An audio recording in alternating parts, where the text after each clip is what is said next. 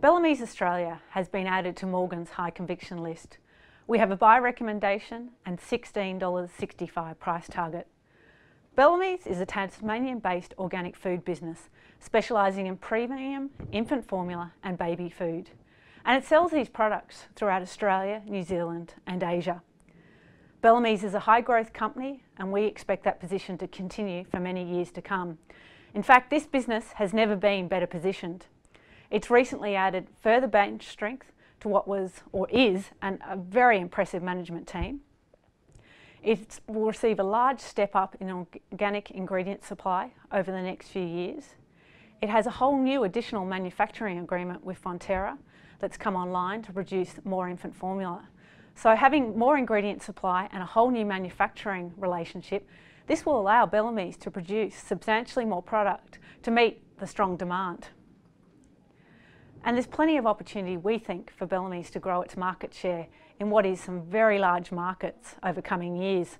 Obviously, China is the key one. And it will also allow management to build on its position for Bellamy's to become a global brand.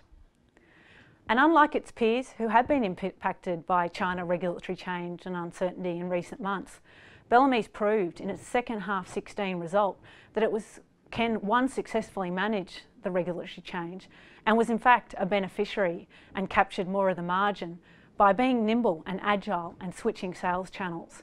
And we expect management will continue to do that in the future as they're very well prepared for any change.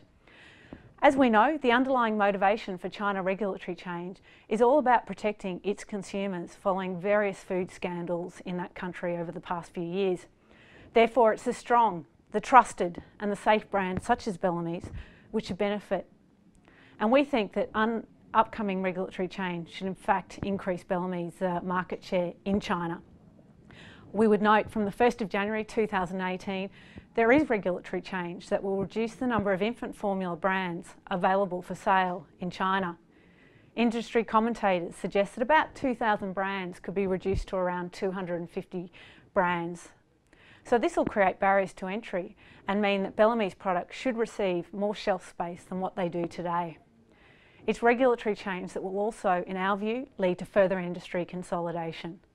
So in short, Bellamy's is a high conviction stock pick at Morgans. We believe it's very attractively priced for its strong growth profile. It's trading at an unwarranted discount to its international peers.